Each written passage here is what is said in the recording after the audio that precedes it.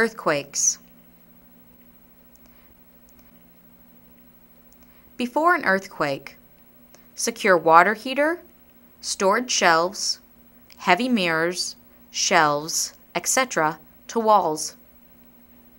Place large or heavy objects on lower shelves. Know where and how to shut off electricity, gas, and water at main switches and valves. Have earthquake drills. Identify safe spots in each room. Have an out of state contact person. Develop a plan for reuniting your family after an earthquake. Review your insurance policies. Keep a good pair of shoes and flashlight near your bed. Prepare to survive on your own for at least three days. See Your Family Disaster Supplies Kit for instructions. During an earthquake, drop, cover, hold on. Stay calm. Inside. Stay inside and find protection in a doorway or crouch under a desk or table, away from windows, glass, brick walls, and chimneys. Outside. Stand away from buildings, trees, telephones, and electric lines.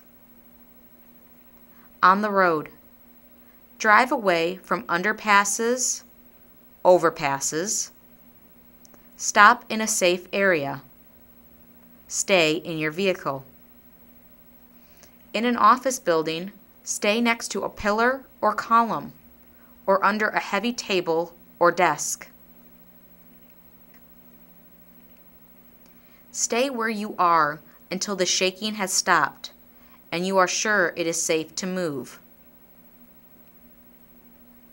After an earthquake. Check for injuries. Provide first aid. Clean up dangerous spills. Check for fires. Gas, water, sewage breaks.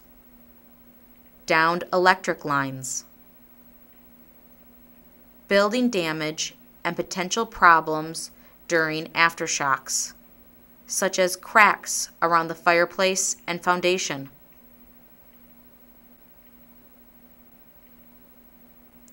Turn off interrupted utilities as necessary.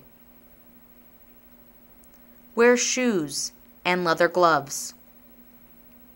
Turn radio to an emergency station and listen for instructions from public safety agencies. Use the telephone only for emergencies. As soon as possible, notify family that you are safe. Do not use matches or open flames until you are sure there are no gas leaks. Don't turn light switches off and on. Sparks created by the switch contacts can ignite gas fumes.